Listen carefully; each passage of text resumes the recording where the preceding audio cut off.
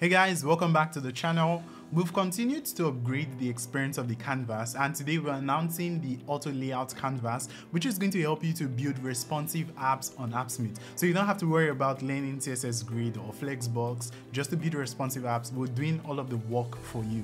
And we also know that many of you watching this video are backend engineers who do not like CSS. So we're automating the whole process so that you don't have to think about it or worry about it any bit. So today we'll take a look at the auto layout feature. In fact, this feature is going to be a really big feature and we'll be having several versions coming out in the next few months, but we're really excited and happy for the work we've done right now and we want to share that with you. So in today's video, we'll take a look at three main things. We'll talk about what auto layout is, why you should care about it, and how to use auto layout or convert your already existing apps to use this new responsive layout. All right, so that's it. My name is Confidence and I'm a developer advocate at AppSmith. Without any delay, let us get started.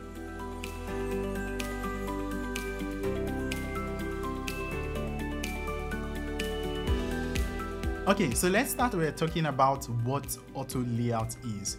A brief description of auto layout is okay do you know what? Scratch that. I don't want to bore you so i'm just going to show you what it is. So taking a look at my screen you notice that this view of the editor looks a bit different. That's because we have this slider that allows us to uh, see how responsive our app is. Right now i have this app set to use auto layout and of course i can go use the slider to preview how my app looks and feels across different viewports. So this is my app right now. Uh, something you notice is that we have um, a header image, then we have the name of the app and a button on the same row. And of course we have a table and a form uh, for users up side by side.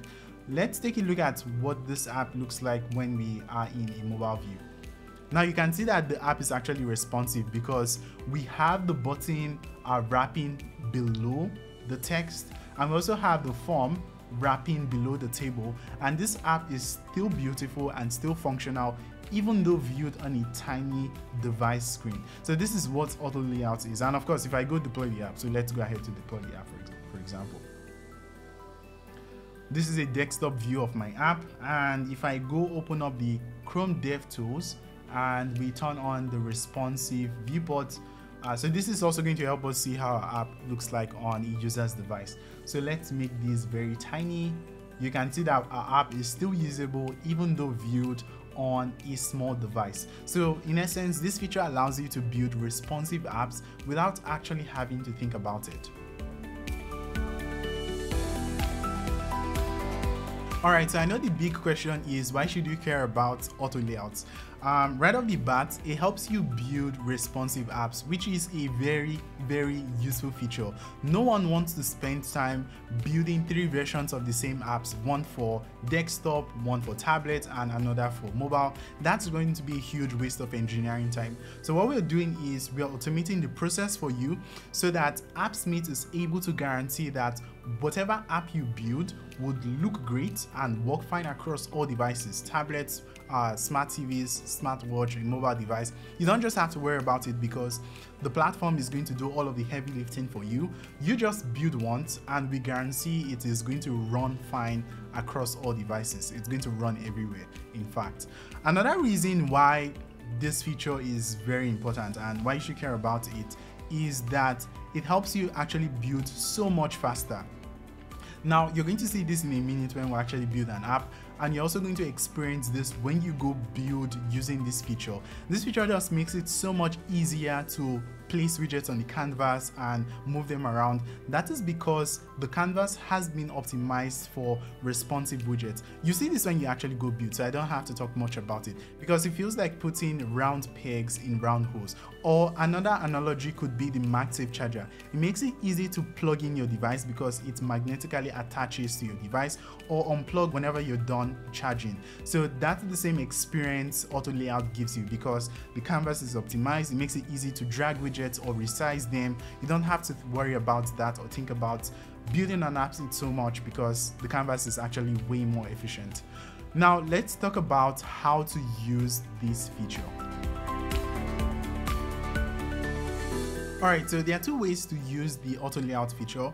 The first being converting from an old app that uses the fixed layout canvas into auto layout and the second being starting from scratch. So let's start with converting an old app. What I'm going to do is convert this app back to the fixed layout and then we'll convert it into auto layout. So we have to refresh the app and I'm going to click on the discard button all right and here we have our app using the fixed layout. Now something you notice is that to the right of the page you have the option to convert the auto layout i mean this button right here. So go ahead to hit that button and here you have a modal telling you that this is going to make your apps responsive and that will also create a snapshot to save your current fixed layout for about five days such that you can roll back if auto layout doesn't work out well for you. So let's go ahead to convert this and let's refresh the app. And you can see that we have the app converted to auto layout um, you have this banner here telling you you can always roll back because you have the snapshot. And of course um, you can fix alignment issues like this by making sure uh, sorry that was too long uh, by resizing the app such that it fits with yeah so now both the table and the form fit nicely together. So that's how to convert an already existing app to use auto layout. The other option is to build using auto layout from scratch. And if you head over to your dashboard and you try to create a new app, you can actually go hit use auto layout because the fixed layout is the default uh, experience. So let's use auto layout and here you can actually go start building using auto layout so let's search for a table widget.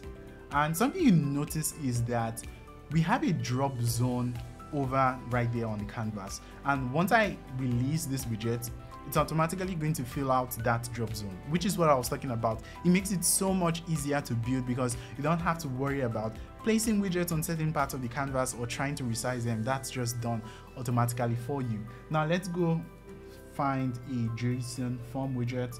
And something you notice is that I also have that drop zone view you saw earlier. So I could either drop it here or here or here or to the side of the table. And once I release it, it's automatically going to fill out that space. And of course, we can make it aligned by increasing the height of the table widget. And then we have a responsive app that works great across all devices and viewports, which is awesome.